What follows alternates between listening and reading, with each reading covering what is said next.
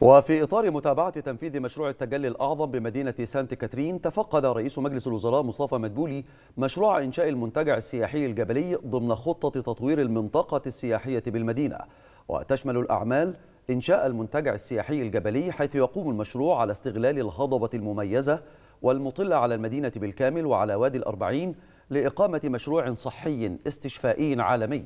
والاستفادة من الكوادر المحلية التي تتميز بها سانت كاترين في العلاج بالأعشاب الطبيعية.